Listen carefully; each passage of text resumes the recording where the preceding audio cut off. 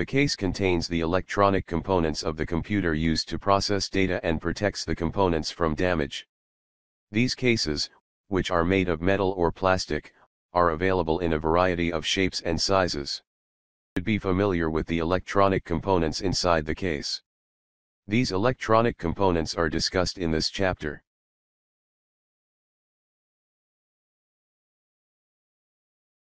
The motherboard, or system board as it is sometimes called, is the main circuit board of the computer.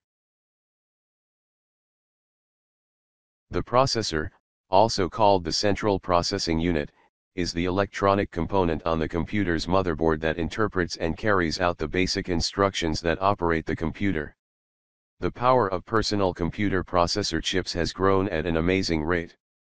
Most processor chip manufacturers offer multi-core processors including the dual that contains two separate processor cores and the quad that contains four separate processor cores. The leading manufacturers of personal computer processor chips are Intel and AMD. Processors contain a control unit and an arithmetic logic unit that work together to perform processing operations. The control unit is the component of the processor that directs and coordinates most of the operations in the computer. The arithmetic logic unit performs arithmetic, comparison, and other operations. Processor relies on a small quartz crystal circuit called the system clock to control the timing of all computer operations. The pace of the system clock is called the clock speed and is measured in gigahertz. Cloud storage is an internet service that provides storage to computer users.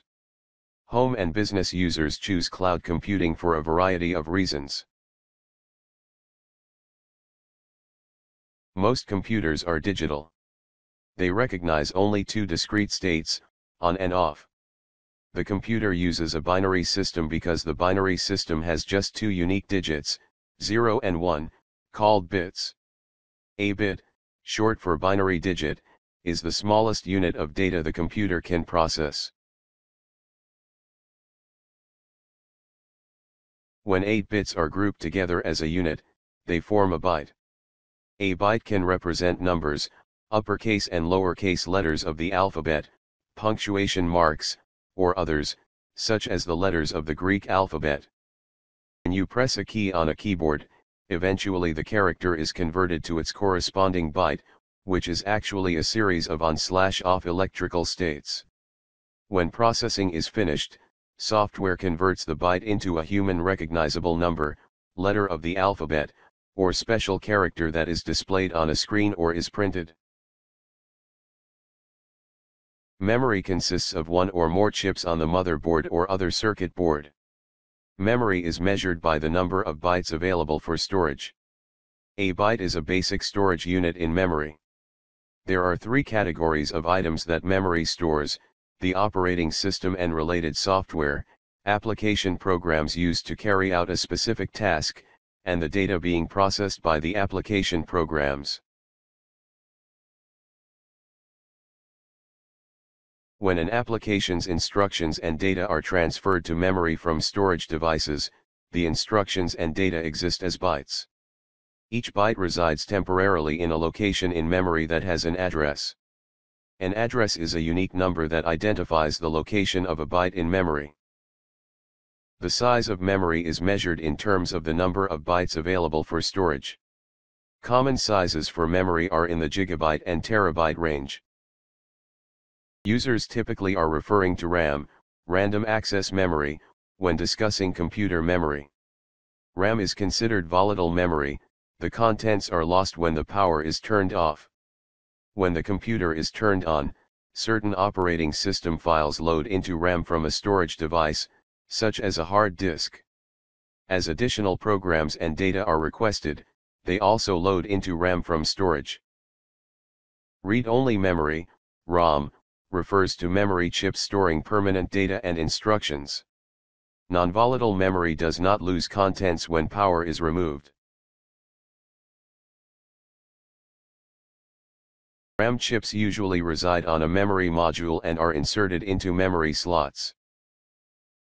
Most of today's computers improve their processing times with cache. One common type of cache is memory cache. Memory cache speeds the processes of the computer because it stores frequently used instructions and data. Read-only memory refers to memory chips storing permanent data and instructions. ROM is also known as firmware. Flash memory is used with smartphones, printers, digital cameras, automotive devices, audio players, and digital voice recorders. Flash memory is a type of non-volatile memory that can be erased electronically and rewritten. Flash memory chips consist entirely of electronic components and contain no moving parts. Access time is the amount of time it takes the processor to read from memory and is measured in nanoseconds. Expansion slots and adapter cards enhance the system unit or provide connections to external devices called peripherals. An expansion slot is a socket on the motherboard that can hold an adapter card. An adapter card is a circuit board that enhances functions of a component of the system unit and slash or provides connections to a peripheral device. Examples of peripheral devices are modems, disk drives, printers, scanners, and keyboards. Of today's computers support plug and play, which means the computer automatically can configure adapter cards and other peripherals as they are installed.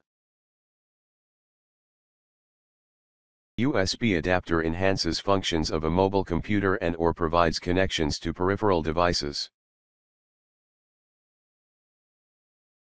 are used to transfer bits from input devices to memory, from memory to the processor, from the processor to memory, and from memory to output or storage devices. Buses consist of a data bus and an address bus.